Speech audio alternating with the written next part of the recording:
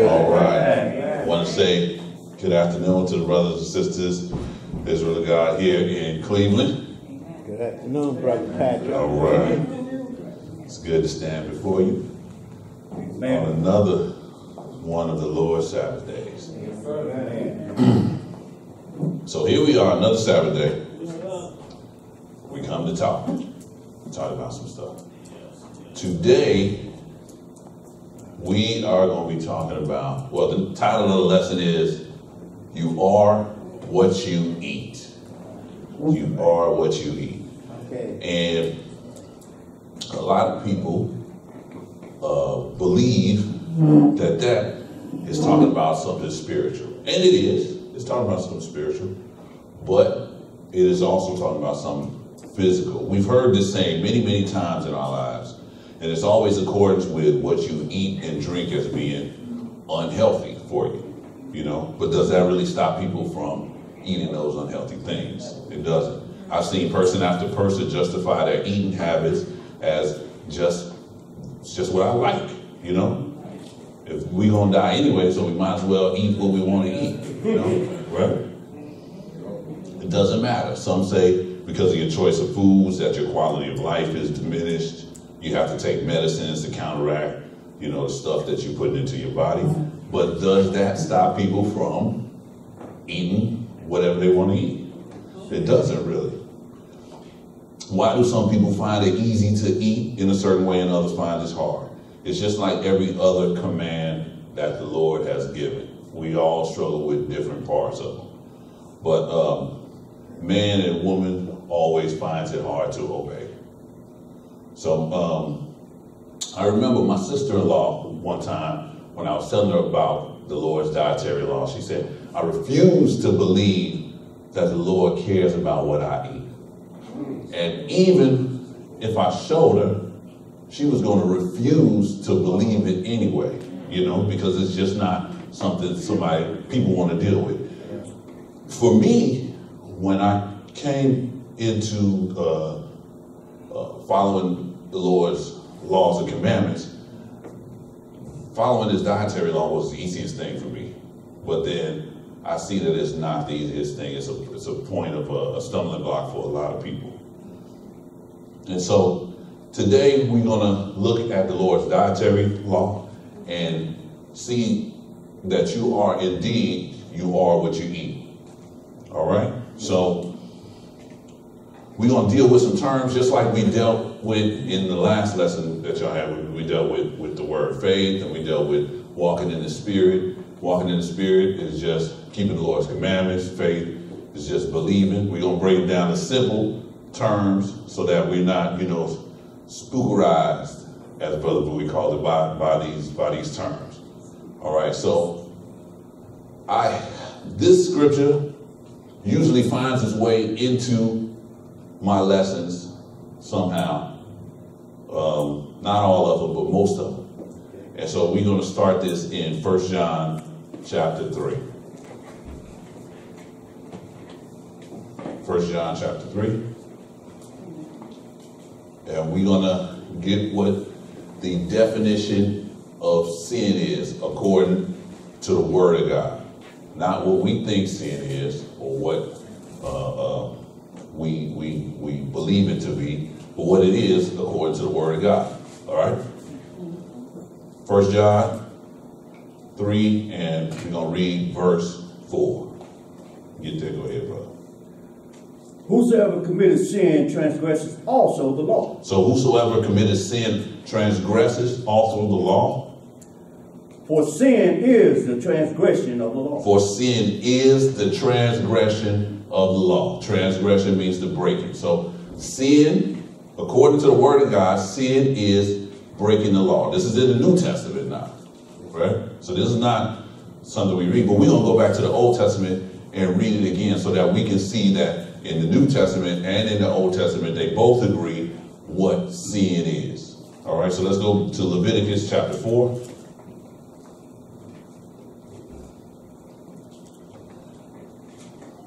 And we're going to do this for a couple of the things that we're dealing with. Leviticus chapter 4.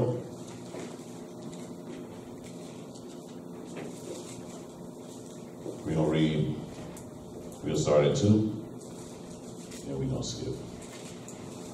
Leviticus chapter 4. And verse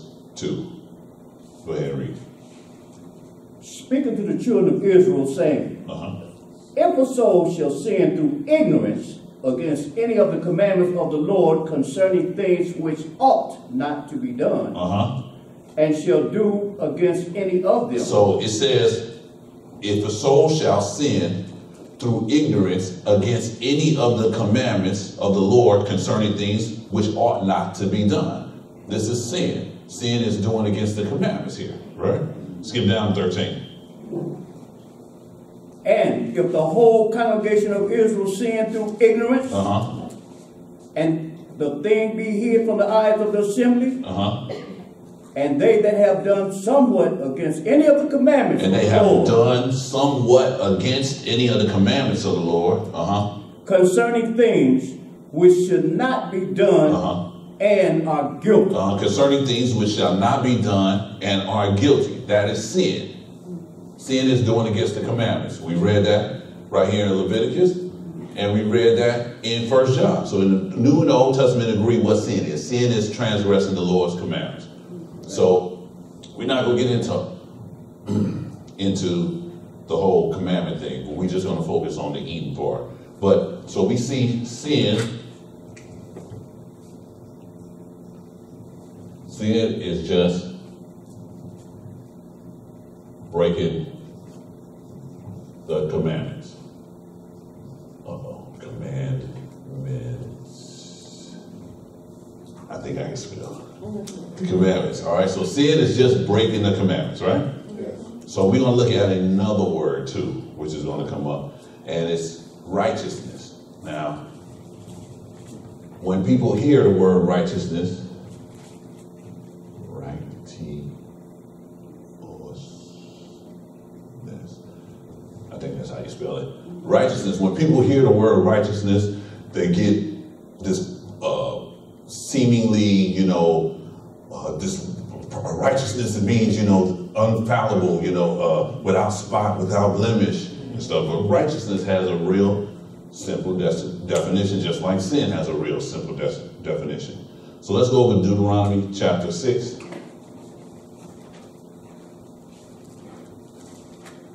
Deuteronomy chapter 6. we don't hit one person here. And I want to get these out of the way so that we can get into the meat of this. Deuteronomy chapter 6, and we're going to read verse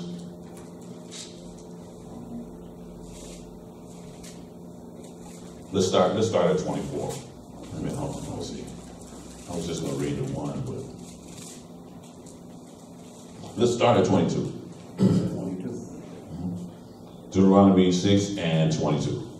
Go ahead and read. And the Lord showed signs and wonders, Uh huh. great and sore, upon Egypt, Mm-hmm. upon Pharaoh, and upon all his household before our eyes. All right. So this is talking about when the Lord brought Israel out of Egypt, right? He saw, he made signs and wonders and brought them out, right? And he brought us out from thence, Uh huh.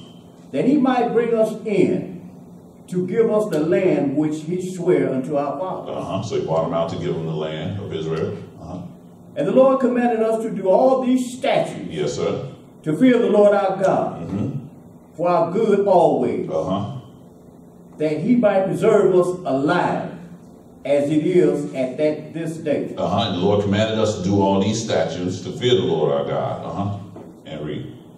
And it shall be our righteousness, Uh huh. if we are observed to do all these commandments before the Lord our God, as he has commanded us. Uh-huh. And it shall be our righteousness if we observe to do these commandments before the Lord our God as he has commanded us. So righteousness is just doing the commandments. Doing the commandments. Right? It's the opposite of sin. Right? Righteousness is. So let's let's go over to First Corinthians because we want to see if the New Testament agrees with us. First Corinthians chapter 15.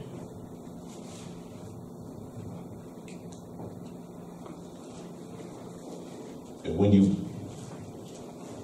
put these, make the words relatable in a simple way, it makes what you're reading a little more understandable because it's not some fairy tale or not some, you know, spookery thing that, what did I say, 15? We're going to read one verse here. We're going to read verse 34. 1 Corinthians 15 and 34.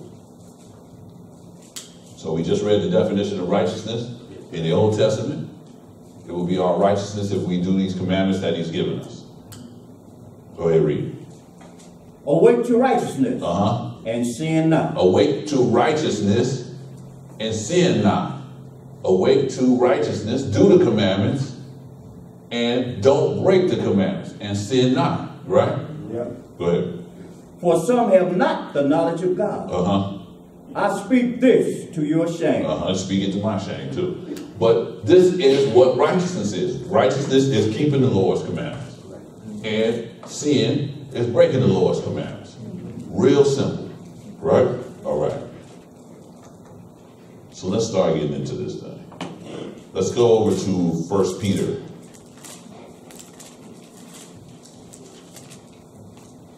Peter is always the, the guy who they go to when they want to throw away the Lord's dietary law too. First Peter chapter one.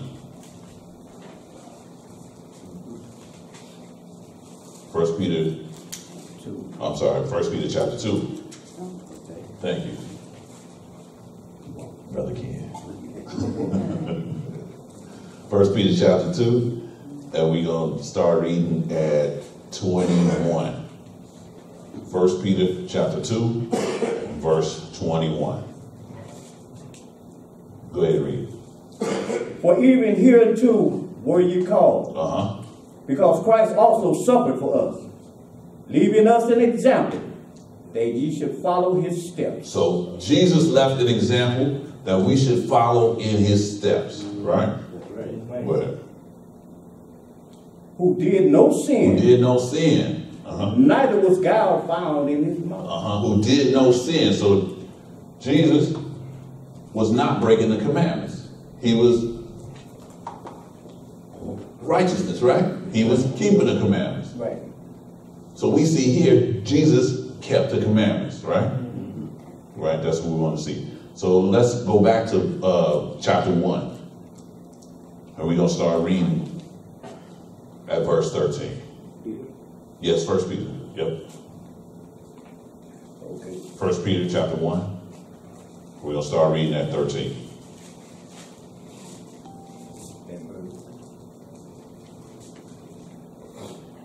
Right. 13, right? Yes, sir.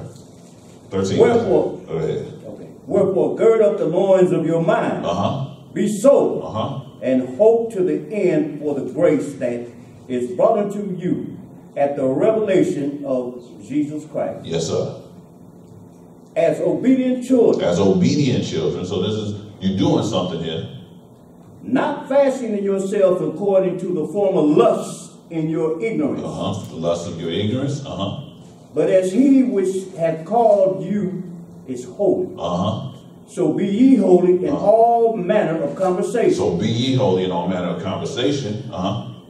Because it is written, Because it is written. Be ye holy, Uh-huh. for I am holy. So Peter said, he said, uh, uh, he has called you to be, that the Lord has called you to be holy, right? Be ye holy in all manners of conversation. But he said, because it is written, be ye holy, for I am holy. Where did the Lord tell us to do that? So let's go and look at that. Because we're going to find out what actually being holy is. All right?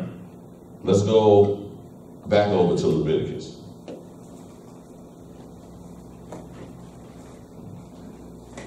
And we are going to go to chapter 11.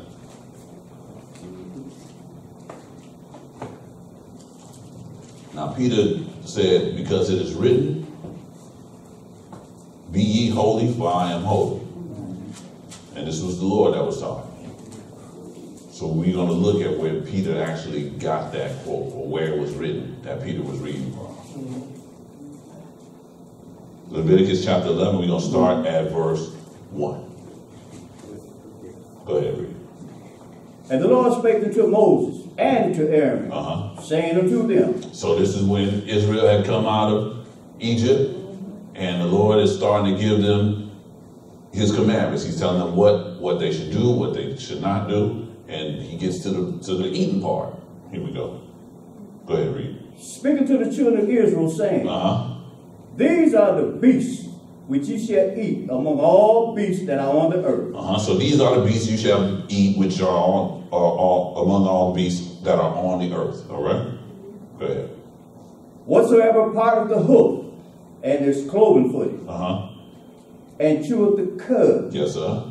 among the beasts that you shall eat. that shall ye eat. Yes, sir. So whatever part of the hoof, so the animal, whatever the animal is, it has to have a split hoof, split in two, and it has to chew the cud. Now, I didn't know what chewing the cud was uh, when I first read, read this, but uh, somebody explained it to me. But it's uh, it's animals that actually chew their food and then they swallow it, they regurgitate it, they chew it some more. It's for better digestion. But there's only there's a few animals that do that, and you can when you look at them, it look like they're chewing all the time. Cows, rabbits, uh, camels. You know, when you look at a rabbit, it look like it's chewing all the time. Look, you look at a cow, it look like it's eating all the time. But that's but that's what chewing the cud is. Go ahead, read. Nevertheless, these shall you not eat of them that chew the cud. Uh-huh. So there are some animals that chew the cud that we're not supposed to eat. Go ahead, read.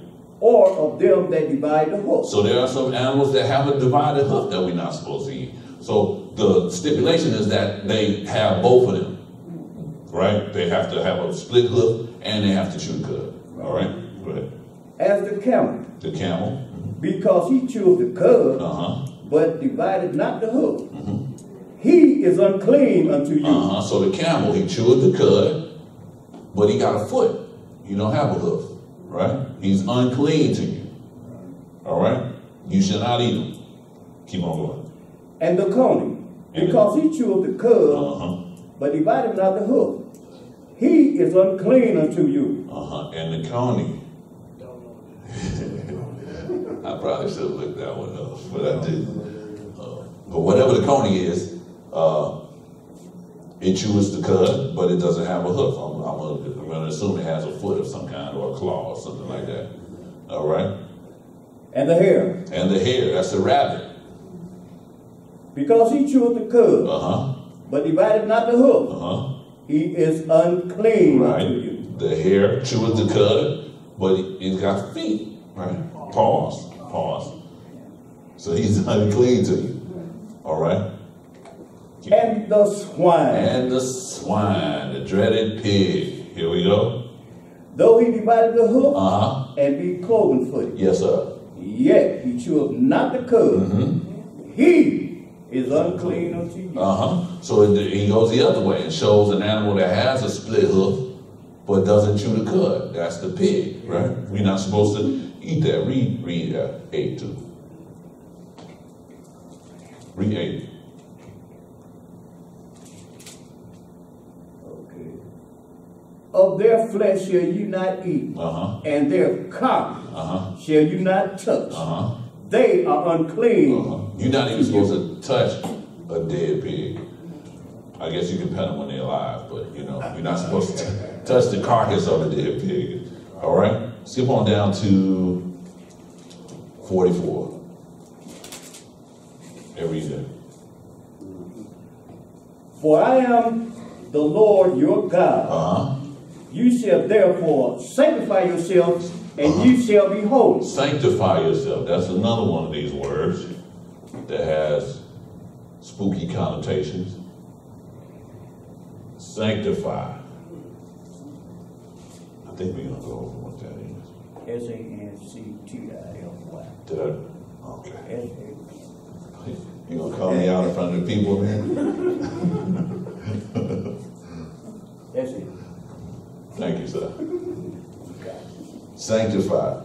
You shall therefore sanctify yourselves, and ye shall be holy. Uh-huh. For I am holy. For I am holy. This is a direct quote. This is what Peter was quoting when he said, uh, For the Lord said, I am holy, be ye holy. Right? Right. He's quoting directly from the dietary law. Exactly. Keep on reading.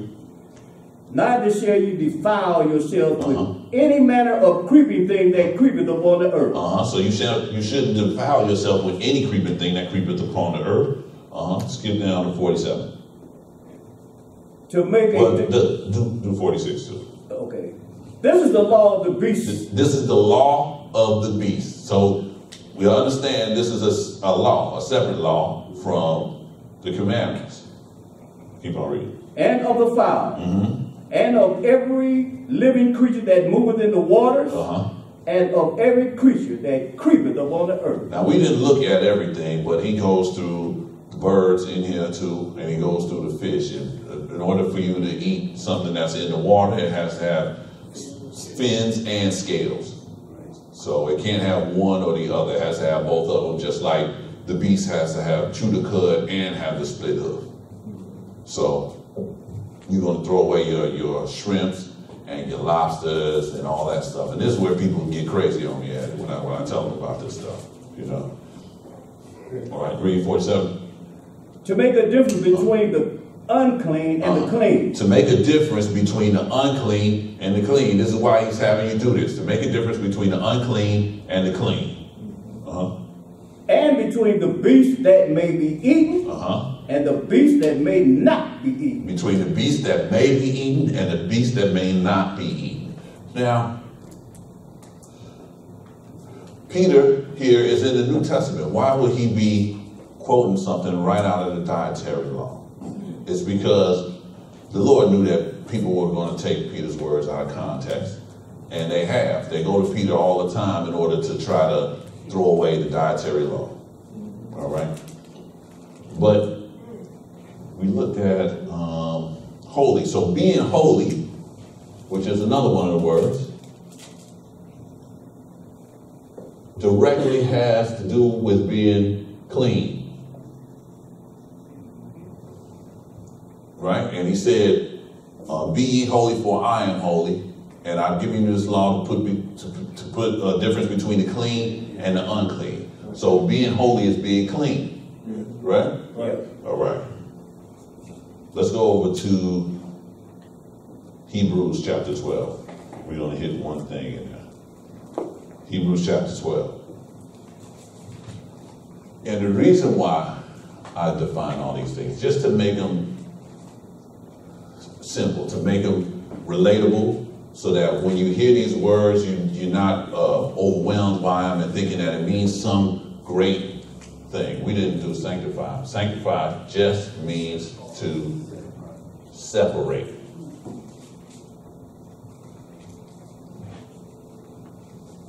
So when somebody says that they're sanctified, it just means that they're separated. That's all. Right. You know, sometimes I want to sanctify my kid's head from his neck, but I don't, you know.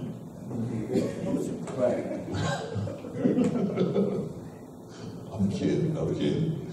No, uh, let's go to Hebrews. We, we're at 12. We're just going to read one, one verse in here. 14. Go ahead, read. Follow peace with all men, Follow peace with some men, all men, all men, all right? and holiness, Uh-huh, and holiness. without which no man shall see the Lord. So without holiness, you will not see the Lord. So without being clean, you won't see the Lord. Amen. Right? Without holiness, no man can see the Lord. Right? Right. Peter just, I mean, it just says it here in Hebrews. So let's go back over to Deuteronomy 14. Now take a look at something here.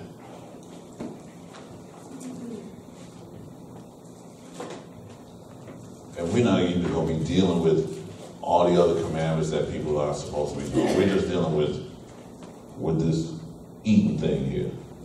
Because a lot of people have a lot, they have, uh, uh, a problem with it. And it's not a problem with me, because I'm not saying that. I'm reading the scripture here, and the scripture says, you know, this is what it is, for, to put a difference between clean and unclean. So if you got a problem with the clean and the unclean, you got a problem with what the Lord is saying. What did I say? Deuteronomy 14, we're gonna start at verse 1. Deuteronomy 14, verse 1. Go ahead, read. Ye are the children of the Lord your God. Now, he's talking about Israel here. Uh-huh. You shall not cut yourself, Uh-huh. nor make any baldness between your eyes for the dead. Uh-huh. For the dead. Yes, sir. For thou art an holy people So thou art an holy people. Uh-huh. unto the Lord thy God. Uh-huh. And the Lord has chosen thee Uh-huh. to be a peculiar people unto himself Mm-hmm. above all the nations that are upon the earth. Above all nations that are upon the earth, why? Thou shalt not eat any abominable thing. Thou shalt not eat any abominable thing. So he said these are holy people, and they're holy because the Lord gave them the dietary law so that they could sanctify themselves and set themselves apart from other people by following the dietary law, making them holy. Thou shalt not eat any abominable thing. So if you eating something that's unclean, that makes you abominable.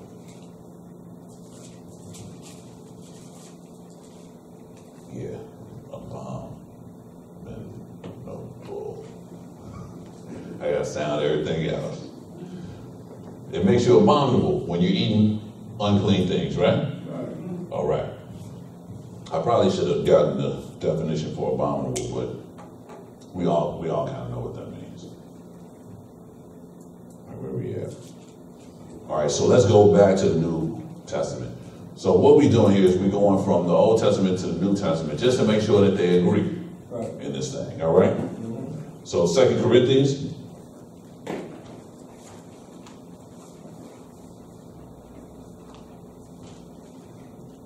And you would think that this would be, well, when the Sunday church threw away, or when the Roman church threw away God's laws, this, this went with it too. Hmm. So what we're gonna do is we're gonna put this back, and then you're gonna realize that you gotta put everything back. Second Corinthians chapter six.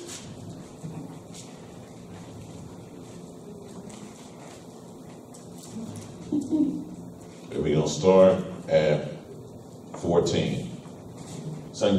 Chapter six, verse fourteen. Six and fourteen. Go ahead and read, bro. Be ye not unequally yoked together with unbelievers. Uh-huh. So be ye not unequally yoked together with unbelievers. Uh-huh. For what fellowship hath what fellowship hath righteousness with unrighteousness? So what fellowship has righteousness, keeping the commandments, with unrighteousness, breaking the commandments? Right? Keep on. And what communion has light with darkness? Uh-huh. Light with darkness. Light meaning uh, righteousness, darkness meaning unrighteousness. And what concord has Christ with Baal? Mm-hmm. What what concord has Christ with with Baal? Or what part has he that believeth with that infidel? Uh-huh. What part does he that believes with one that doesn't believe? And what agreement hath the temple of God with idols? Uh-huh.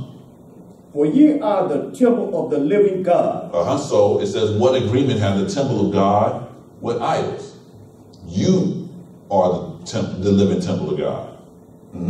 As God has said, I will dwell in them and walk in them, Yes, sir. And I will be their God, and they shall be my people. I will dwell in them and walk in them, and I will be their God, and they will be my people. Uh-huh. Wherefore, come out from among them, Uh-huh. and be ye separate, And be ye the Lord, separate, saith the Lord. Uh-huh. and touch not the unclean thing, Uh-huh. and I will receive you. And touch not the unclean thing, and I will receive you. Wherefore, come out from among them and be separate, or sanctify yourself. Right? Be separate. And touch not the unclean thing, the unclean thing, which will make you unholy. And I will receive you. So, one of the conditions of the Lord receiving you is that you not mingle yourself with unclean things, correct? So, we have a law of beasts which shall be eaten and shall not be eaten, putting a difference between the clean and the unclean. And the Lord said, Don't touch the unclean thing, and I will receive you. So this is speaking directly to what you put in your body, in your physical body. You set yourself apart. All right? Let's go over to Ephesians. Ephesians chapter 5. This is not a long one today. It's not a long one today, man. Ephesians chapter 5, we're going to start at verse 1. When people read some of the stuff that we have read as, as far as being holy and stuff like that, they never uh, attribute it or connect it to food or your physical being. They always say it's spiritual. And it's that too. It's that too. There's, there, we eat a lot more spiritual than we do uh, physical. Right. However, in in the verses that we pulled out of here, the verses that Peter said, he's quoting directly from the physical, what we actually put in our bodies, or what we actually touch, and stuff like that. So let's start Ephesians chapter five, verse one. Go ahead. Be ye therefore followers of God Uh-huh. as dear children, Yes, sir. and walk in love, as Christ also hath loved us, and hath given himself for us an offering and a sacrifice to God for a sweet smelling savor. Yes, sir. But fornication But fornication and all uncleanness and all uncleanliness, being it spiritual uncleanliness and physical uncleanliness. or covetousness, Uh huh. let it not be once named among you as becometh saints. Uh, so don't let this uncleanness, and I'm just focusing on the uncleanness. Don't let this uncleanness be something people say about you guys. Uh huh. Keep on. Neither filthiness, Uh huh. nor foolish talking, nor jesting, Uh huh. which are not convenient, but rather giving of thanks. Yes, sir. Neither filthiness, which is uncleanness, or foolish talking or jesting, which are not convenient, but rather giving of thanks. Uh huh. For this you know, Uh huh. that no whoremonger, Uh huh. nor unclean person, No, this you should know that no whoremonger nor unclean person, uh-huh, nor covetous man, covetous man, who is an idolater, uh-huh, have any inheritance uh-huh, in the kingdom of God, of Christ, and of God. and of God. So know this, know ye this, that no, un, and I'm focusing on the unclean part, no unclean, no unclean person is going to have a part in the kingdom of God. Right? When we talk about uncleanliness, we're talking about spiritual, but we all know that. But we're talking about a physical uncleanness. This is required. Yes. It's not something that we, uh, you know, well, it's just this body, and we're gonna get a new body, you know, so we don't really have to, you know, this body's gonna be done away with, so we don't. No, no, this is a whole thing, inside and out. The our if that if that was the case, then our um, our mannerisms according to uh, uh, uh, fornication and adultery and stuff like that wouldn't matter either because that's done in the physical, you know. Okay. So When we say physical, we mean it encompasses everything, Right. even what you eat. Let no man deceive you with vain words. Because of these things cometh the wrath of God upon the children of disobedience. Yes, sir. So let no man deceive you with vain words or words that don't mean anything. For because of these things come the wrath of God upon the children of disobedience. The wrath of God comes upon the children of disobedience, meaning that He gave us, commanded us, gave us a dietary law that was of what's clean and what's unclean, and that was going to make us holy. And being holy gives us entrance into the kingdom of the kingdom of God, along with a lot, a lot of other stuff, however. But this is just one part of it that we're focusing on right now. All right, so let's jump back to Exodus chapter 13.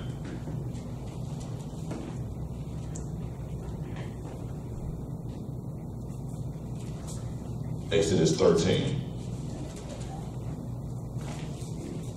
We're going to start at verse 1. And the Lord spake unto Moses, saying, Uh huh. Sanctify unto me all the firstborn, Uh huh.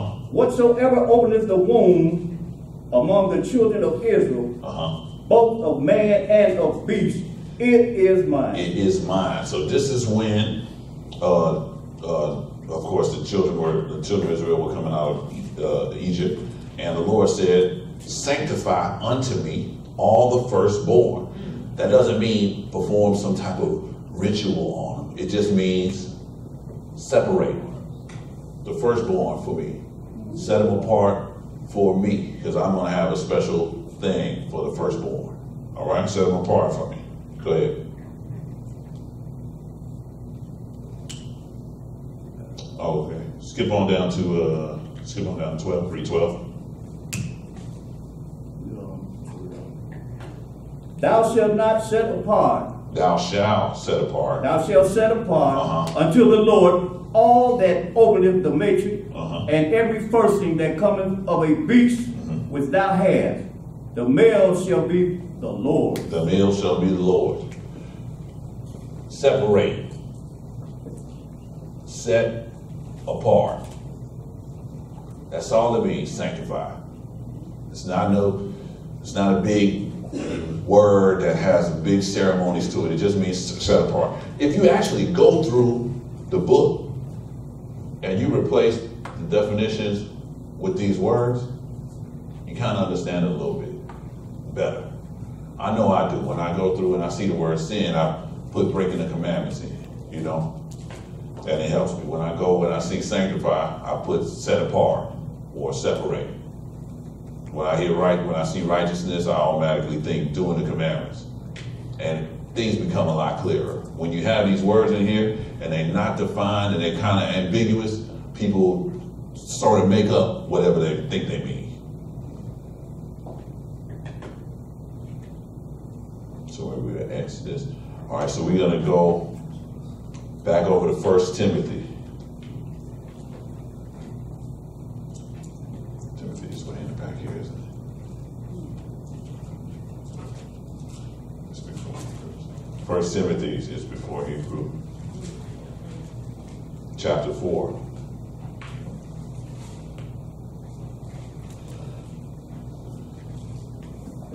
So when my sister-in-law told me that she refused to believe that the Lord cares about what you eat,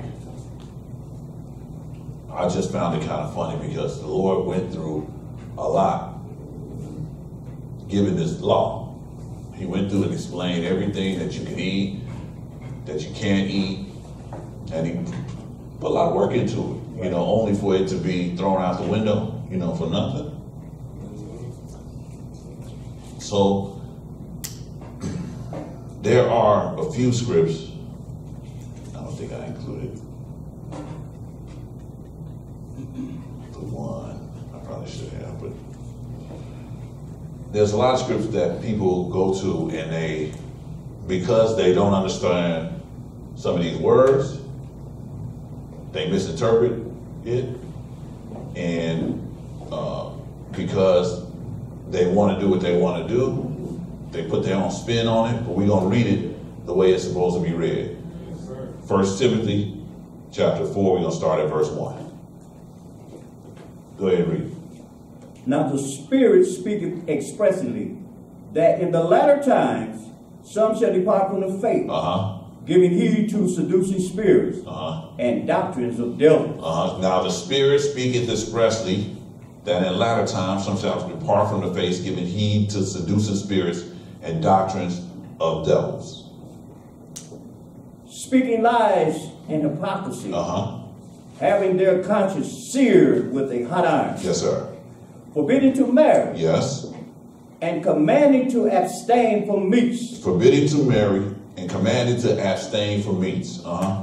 which God has created to be received with thanksgiving of them which believe and know the truth. And know the truth. Now, here's where we start getting into the muddy waters. It says, the Spirit speaks in last time that some shall depart from the faith, giving heed to seducing spirits and doctrines of devils. He's talking about a specific people here, Yes. right? A group of people who's gonna go away from the faith, right? He said they're gonna be speaking lies and hypocrisy, having their conscience seared. They're gonna be forbidding to marry and commanding to abstain from meats, which God has created to be received with thanksgiving. Right. Now, He created them to be received with thanksgiving of them which believe and know the truth. All right, keep on reading. For every creature of God is good Uh huh. and nothing to be refused Yes, sir. if it be received with thanksgiving. See, and then we get to this one, and then everybody say, see, we can eat what we want to. For every creature of God is good and nothing to be refused, to be re- received with thanksgiving. See? It's good. But I say read the next verse. Yes. Uh-huh. For it is sanctified Uh-huh. by the word of God and prayer. Uh-huh. So for it is sanctified, set apart, or separate by the word of God. Where do we see uh, the creatures of God separated or set apart? In Leviticus 11. We read that. That's where they are set apart, Right. right? Right. They are set apart by the word of God. We read the word of God, we see that they're set apart, right? So they are sanctified or they are set apart by the word of God and prayer, not or prayer. Right. You can't take a pork chop or have a plate of shrimp Right. and pray over it and become clean. It's sanctified by the word of God and prayer. So you have your lamb chop, you know, or your steak, and you pray over it, you know. Otherwise, your prayer is meaningless because you can't pray over something that's unclean, like the food that He already set apart Right. and make it clean. Right. That's unclean. That's just like you're trying to pray over the devil and make him clean. Right. He's already unclean. He's been set apart as he's been, he's been sanctified in his job, Yeah. in his job, and no amount of your prayer is going make them clean. You know, it's just not going to happen. The same thing with the food. You can't pray over your your lobster tails and think that the Lord's going to be like, oh, he's praying over lobster tails, you know. Right. Bless you. Make it sound gross. Bless you. let, let me not do that. All right, so let's uh let's go back to Leviticus.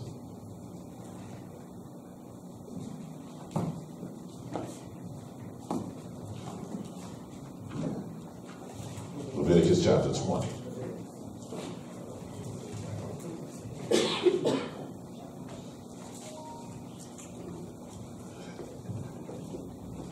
It's amazing too. And you know, it's funny, the, the, the dietary law is one of the, the first things that I always hit people with who are who don't know the truth and stuff like that. And I always mess with them. You know, I got a guy at work who I mess with all the time. And um, you know, he'll have some. I'd be like, you know, you're not supposed to be eating that, man. You know. And so uh, he actually though started um, changing the way he eat, especially when he see me coming around. Right. So we'd be out at we'd be out at the food truck or something, And you know, and I, you know, I get something off, off the food truck, and then he'll get something off the food truck, and I'll be like, "Hey man, don't they have some some bacon in it?" He'd be like, "Oh, I told him, I told him not to put the bacon in there." so you get them, get, get, get little battles where you can, man. You know, maybe I'll get them to come out, you know. and- One day, look- yes, right. But some people are so resistant when you tell them, you know, that they can't eat a certain thing because God said it, they they truly get offended, you know. Yeah. Mm-hmm. So where we at? Wait a minute. We said Leviticus 20. We're gonna start at verse 6. Leviticus 20 and 6. Go ahead and read. And the soul that turneth after such as have familiar spirits and Uh-huh. after wizards. And after wizards, familiar spirits. We talked about that too before, what familiar spirits were. Uh huh. And after wizards. to go a whoring after them. Yes, sir. I would even set my face against that soul Uh huh. and will cut him off from among the people. Uh huh. So whoever goes after familiar spirits and after wizards or witches, to go after them, to asking, you know, somebody to read you some tarot cards or anything like that, you know, he says that he will set his face against that soul and cut him off from among the people. Uh huh. Sanctify uh-huh. therefore, Uh-huh. and be ye holy, Uh huh. for I am the Lord your God. For be ye holy, for I am the Lord your God. hmm Uh, skip on down to 22. Ye shall therefore keep all my statutes Uh-huh. All the statutes, not some of them, and all my judgments. and all my judgments, not some of them, and do them. and do them. It's just what Jesus said, right? We said we saw that Jesus uh, was did not sin, right? Right. So he was keeping the commandments. He did them all. Yes. That the land whither I bring you to Mm-hmm. dwell therein, spew you not out. Uh-huh. So he said, you know, keep my statutes and all my judgments, judgments, so the land where I where I put you at won't kick you out. And you shall not walk in the manners of the nation Uh-huh. which I cast out before you. Uh-huh. So you shall not walk in the manner of the nations which I cast out before you, right? Sanctify yourself, separate yourself. Uh-huh. For they committed all these things, Uh-huh. and therefore I abhorred I abhorred them, right? I abhorred, hated. Abhorred them.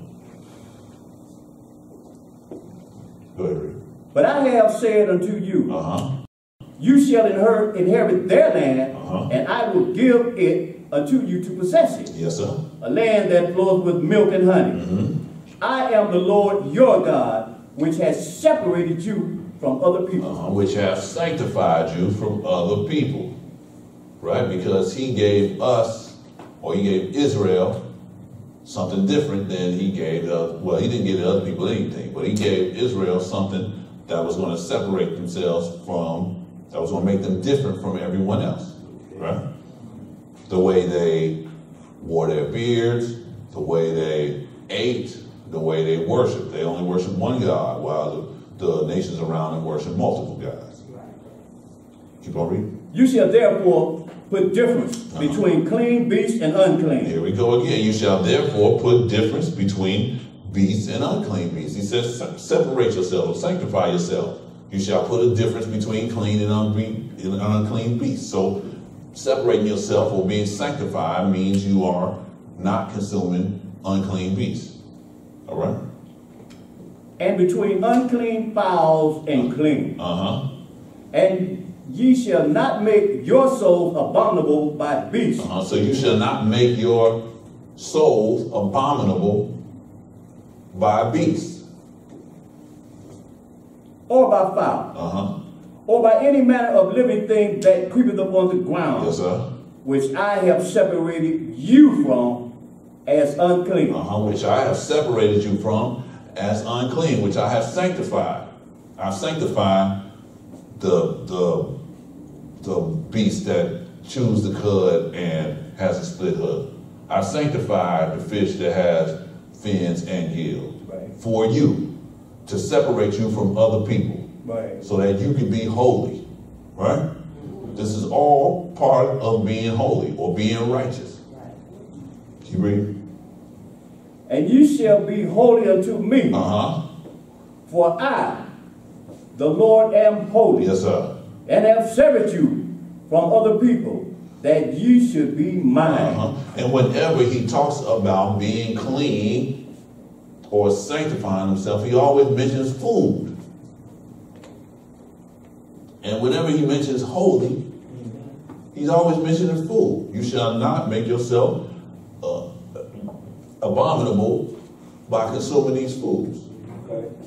So whenever the Lord mentions holy, it's always followed somewhere. You can read where it's going to mention something about the food, you know. And by the time we got to the New Testament, or when we got to the apostles, everybody knew that. That's why they didn't repeat these things, you know, when they was talking about being holy and stuff like that. They already assumed that they, well, when they was talking to Israel, they already assumed that they knew that. And then the people around them knew Israel, and they knew Israel's customs. And so when they talked to them, they were talking to people with some semblance of knowledge of what was going on around here. Yes. Right now, when I talk about that type of stuff, you know, we we were so far removed from this stuff that you know we got to go through the basics 1st So when they read Paul and Peter's stuff in New Testament, they get all confused and they think that it means this and they think that means that. But if you go back to the Old Testament, Yes.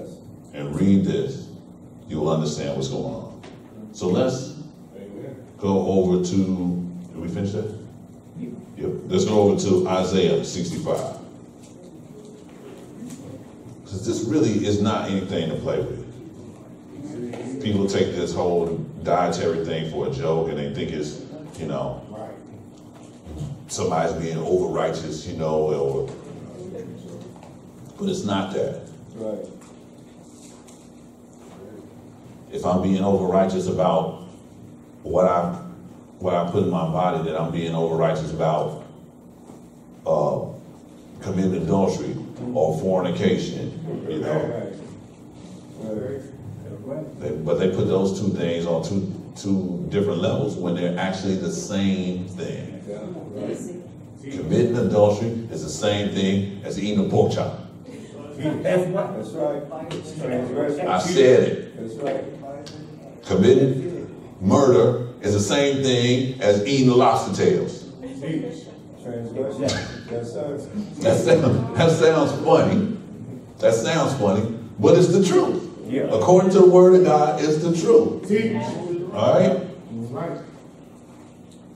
Teach that word, brother. 65, Isaiah 65, we're going to start at verse 2. So, Israel, of course, was given these laws and commandments, and of course, they don't follow them. They don't keep them like they should, and uh, so he, he gets he gets angry with them, puts them into captivity. They come in and out of captivity. But let's start here, 65 and 2. I have spread out my hands all the day unto a rebellious people, Uh huh.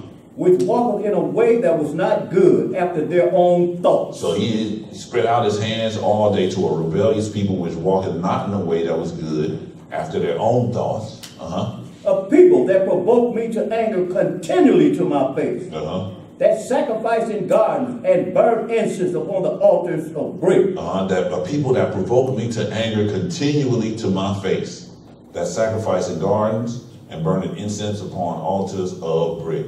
You know, if it's if it's not working, then just forget it. We still got it. which remain among the graves. Which remain among the graves. So these people are alive, but yet he's saying that they remain among the graves. So they're dead in some sense. Uh huh.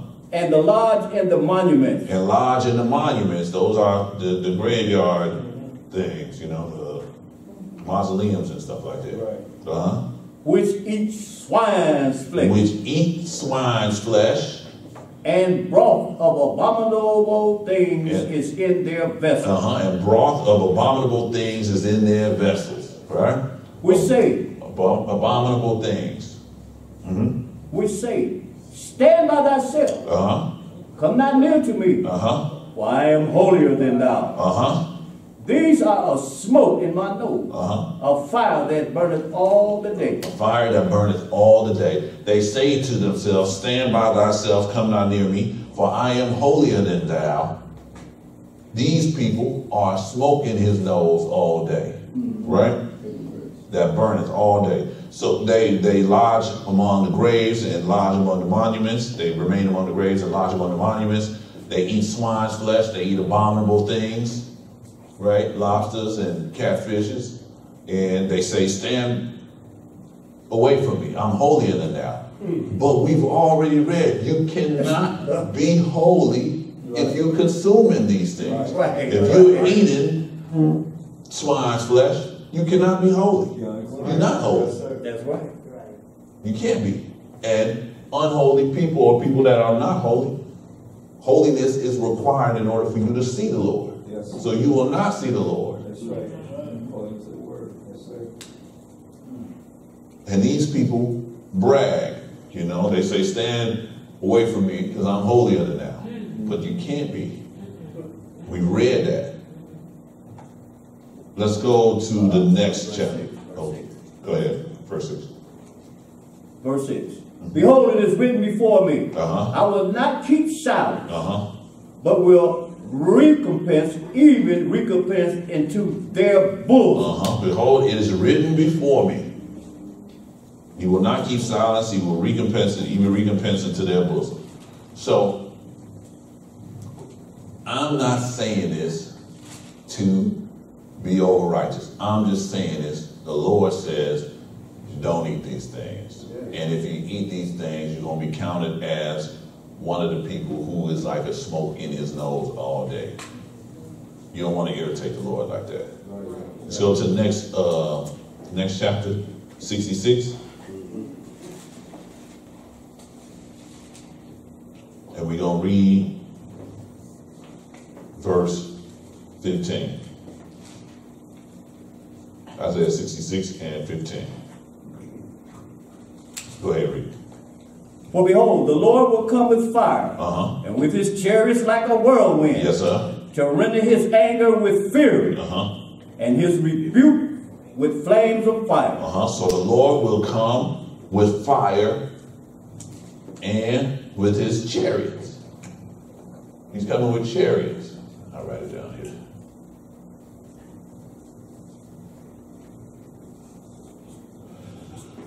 Now we say, well, chariots is, you know, just the things that, you know, horses horses ride on, if any, horses uh, pull, you know, uh, back in the days, you know, they had um, these wagons that they pulled, you know, they were called chariots, you know, and sometimes they would be used for war. Most of the time they were used for war. Um, I was just reading too. I was reading um, in the book the last two million years, and uh, about how the um, iron the Iron Age came about and stuff like that, and how in Rome's advent they had these chariots and they was putting iron on them and stuff like that, and, and it was uh, uh, one of it was like their tanks. It, it described them in the book as, as being their tanks at that day, and you know people couldn't stand up against them because you know they was rolling, they was rolling through. Uh, they worked when the land was though was flat, so you know when they would get up into the hills or in trees or something, the, the chariots were useless. But they would, you know, just like a tank, you know, you Right. can't go Right. go into the hilly areas and stuff like that. So mm-hmm. it was it was interesting what I was reading about. But these chariots, they was used for war, right? Mm-hmm. All right, so let's go over to Psalms 68. As it says, the Lord is coming with his chariots and fire.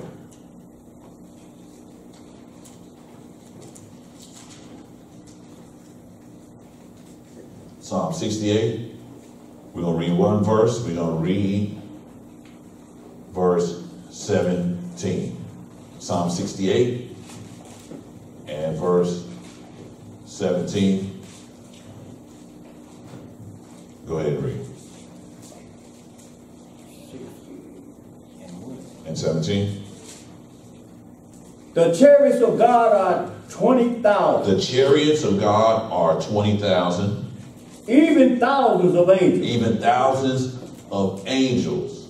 So the chariots that the Lord is coming with is angels. Right? He's coming with fire, and he's coming with his chariots, which are angels. Right? Keep on reading. The Lord is among them, mm-hmm.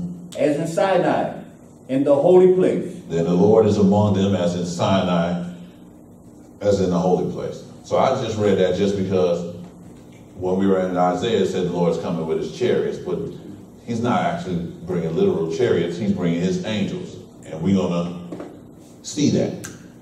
Let's go over to Second Thessalonians.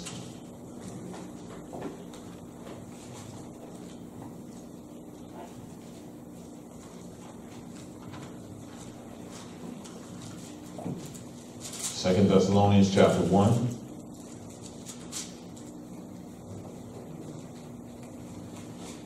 So we're going to start at verse 7. Second Thessalonians 1 and 7. Second Thessalonians chapter 1 and starting at verse 7. Go ahead, read.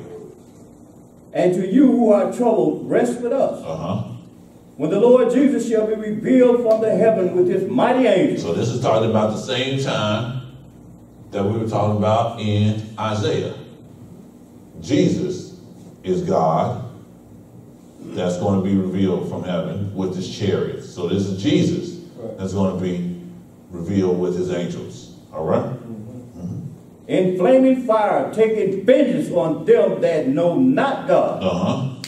And that obey not the gospel of our Lord Jesus Christ. Uh-huh. In flaming fire, taking vengeance on them that know not God and obey not the gospel of our Lord Jesus Christ. This is what was described in Isaiah. It said, and God will come with his chariots and fire, right, to take revenge on earth.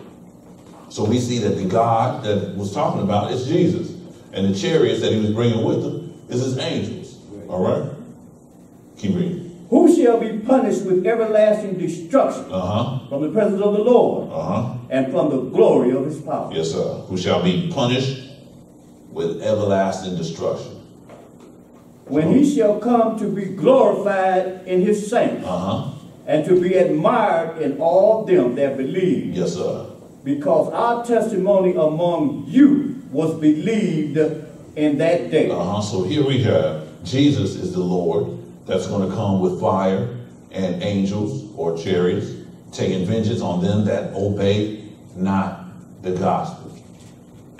So Jesus is this guy in Isaiah. Right. people want to uh, believe that he, you know, he that was the Father, but that was Jesus. Jesus is our Father.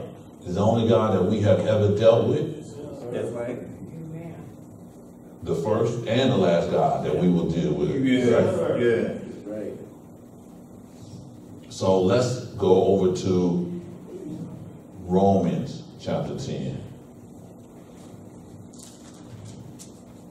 We're going to read one verse in here.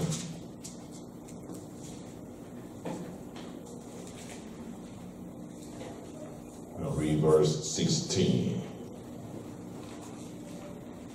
Romans 10 and 16. But they have not obeyed the gospel. Well, they have not all obeyed the gospel. For Isaiah said, Uh huh. Lord, who hath believed our report? So Isaiah has said, Who has believed our report? So they have not obeyed the gospel. So he, Isaiah was talking about the same thing. But let's go back to Isaiah.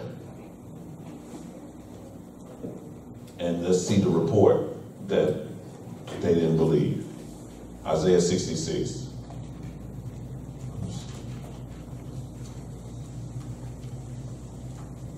So we're going back to where we had started, just so that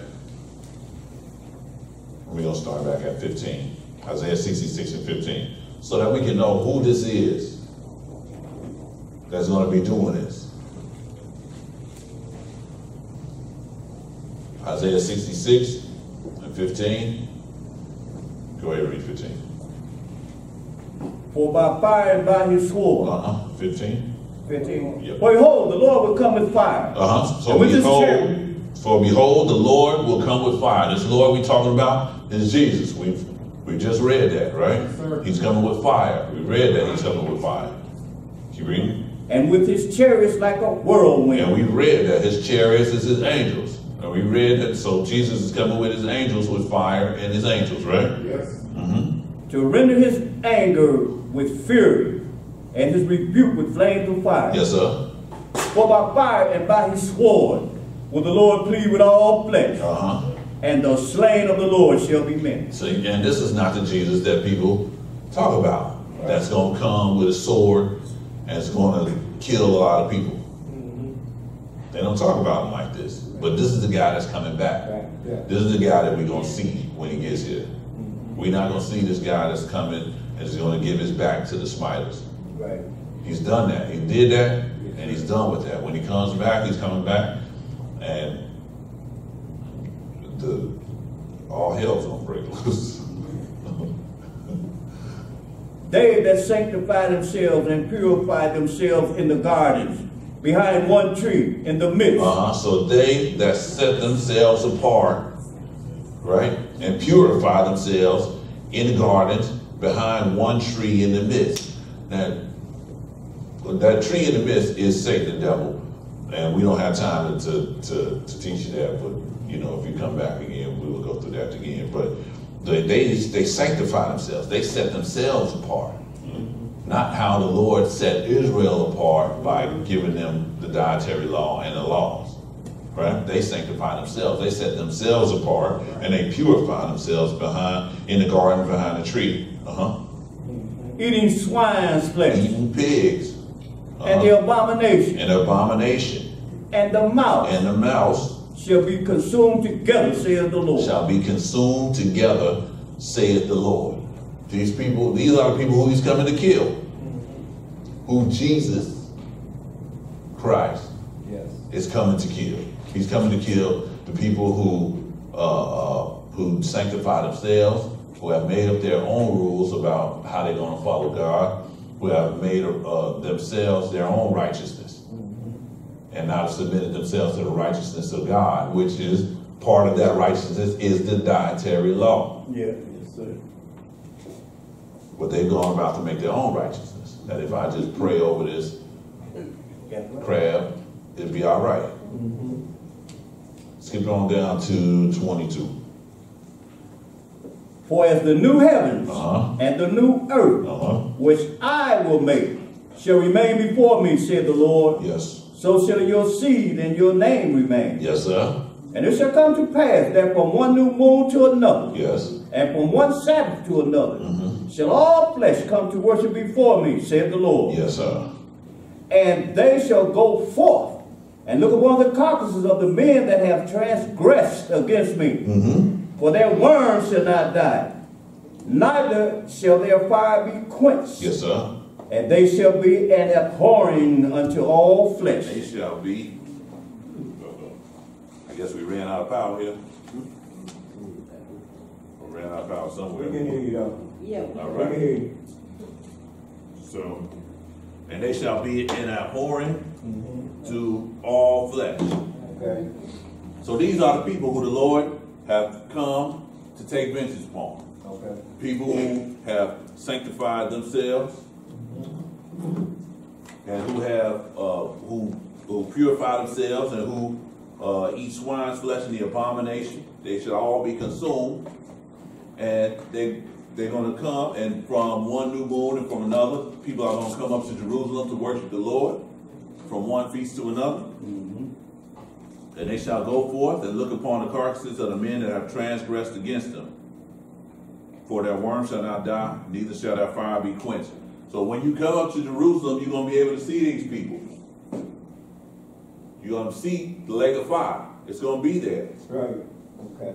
It's not going to be a hundred miles underground and the devil got his fork and Yeah. people are coming in and poking them and they, they going to, to work. I don't know what they do down there in the fire. They're to be working with the coal or something, heating the earth or something. I don't know. However, however, it's not that. They're to be right there in Jerusalem Right there, when you go up to see Jesus, these people are gonna be in this fire burning. And you're gonna see it, and that's gonna be a deterrent for people. I know if I'm there and I go and I see these people burning up in a fire and they just tormented, I know I would uh try to change my ways. Yeah. Okay. So where we at here? Right. Hmm. We got a couple more places. Uh, let's go to uh, St. John chapter 10.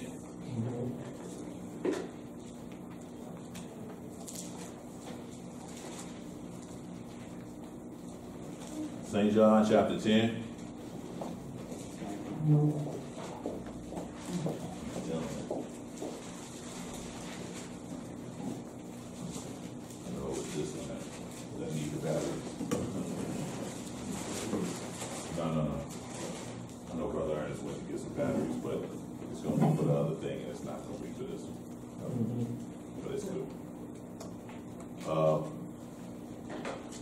John chapter ten, and we're gonna start reading at verse thirty-four. Chapter ten and thirty-four. Go ahead, read. Jesus answered them, Is it not written in your law? I said ye are gods. Uh, Jesus answered them, saying, Is it not written in your law? I said, Ye are gods. One of the things that I've noticed about the Gospels is where Jesus is talking, all of the time he's always saying, It's written. It's written here. It's written there. Right. Ain't it written here that it say such and such? Right, right. All of the things that he said he got from the Word of God or the, the Old Testament. Right. So that's just something that I noticed. Amen. Keep on reading. If he called them gods, unto whom the word of God came, Uh-huh. and the scripture cannot be broken. Right.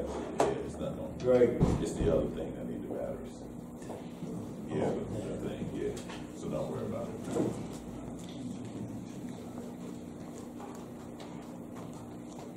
If ye are called gods unto whom the word of God came, and the scripture cannot be broken. Mm-hmm. Scripture cannot be broken. Right. Sir. is the point. This cannot be broken. Mm-hmm. Righteousness was righteousness. Righteousness was doing the commandments in the Old Testament. Mm-hmm. Righteousness is doing the commandments now. Okay. Sin was breaking the commandments in the Old Testament. Mm-hmm. Sin is breaking the commandments now. Yes. Scripture cannot be broken.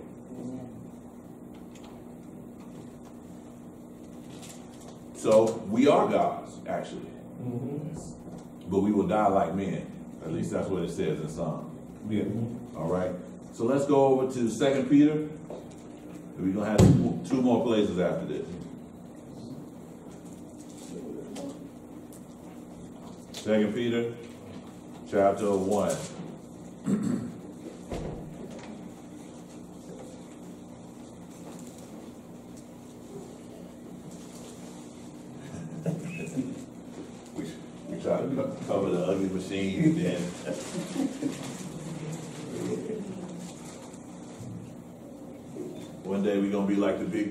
Chicago and, you know, everything's gonna be invisible to the eye.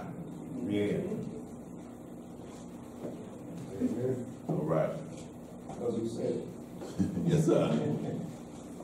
Second Peter, uh, chapter one. We're gonna read one verse. We're gonna read nineteen. Go ahead and read. We have also a more sure word of prophecy. So Peter says, we have a more sure word of prophecy. That means that if Peter, Peter saying, if I said something right now, if I said something, you know, and you're not sure what it is, or you you you're un, you're, you're unsure about what I'm saying, we got a more sure word of prophecy There you go. right? It's written. He was talking about the, the law and the prophets, Right. right? Keep on reading. Whereunto you do dwell, that ye take heed, Uh huh. as unto a light that shines in the dark. So this, the more sure word of prophecy is like a light that shines in the darkness. dark place, until the day dawn Uh-huh. and the day star arise in your heart. Until you get understanding. This more sure word of prophecy is gonna be here. Right. Until you get the understanding that you need. Let's go over to First John chapter two. That's the next next book.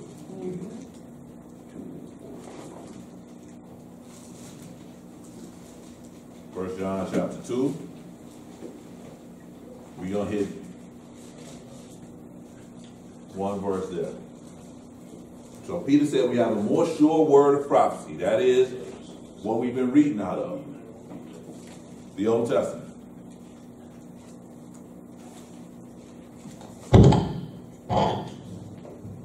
You can count on the old Ernie to get it done. Right when we had the last scripture though. So, no, I'm messing with them. Uh, First John two, and we're gonna read verse four. Chapter two and verse four. Go ahead. He that said, I know him, and keeping not his commandments, Now this is talking about God. He said, he that's saying that I know him or know God, he that's he that is saying that he knows God and keepeth not his commandments, is a liar, uh-huh, and the truth is not in him. is a liar, and the truth is not in him. So if you see somebody and they say they know God, I know Jesus. And then you see them with a pork chop on their plate, then I'd be like, no, you don't know Jesus. You don't know him because, you know, if you read what I read, Right. what he gonna do to people who eat pork chops, you wouldn't be doing it, you know? You know, and I don't like calling people liars, you know, because that's such a hard word, but it's just what the book said, you know? Yeah. If these people say that they know the Lord and they keep not his commandments, they lie. Right. They don't know. So let's go to the last place. This is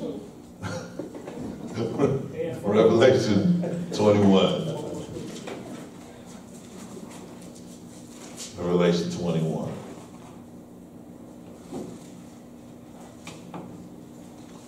And this is the last verse here. So, we went over and we cleared up, or we just simplified these words that we see in scripture all the time to make them more relatable. Sanctify, set apart, righteousness means doing the commandments. Sin means breaking the commandments. Holy means clean. The chariots that the Lord is coming with is his angels. These are things that we can use to make reading this book a little more understandable. But also that we have read that you are what you eat. Meaning that if you eat abominable things, you are abominable in the eyes of God. Now that seems kind of harsh too. However, you are what you eat. Go ahead and read this first. Verse 8. Verse 8, yes, sir. But the fearful Uh-huh. and unbelieving Uh-huh. and the abominable And the abominable, uh-huh, and murderers and murderers, and whoremongers mm-hmm, and sorcerers uh-huh, and idolaters yes, sir, and all liars uh-huh, shall have their part in the lake which burneth with fire and brimstone, which is the second death. death. Yes.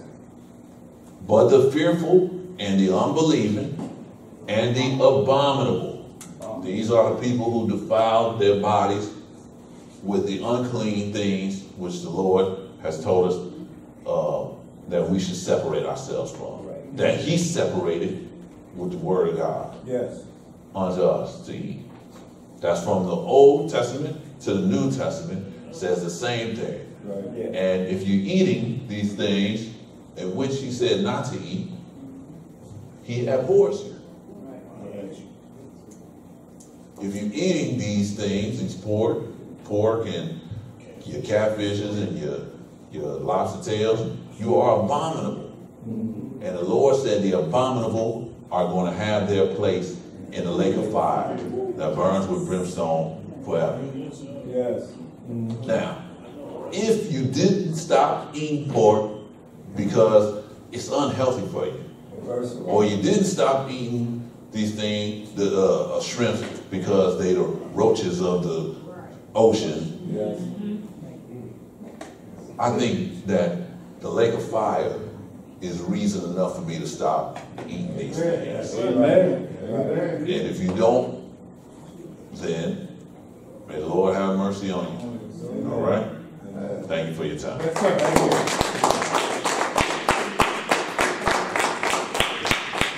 Now we have the announcement.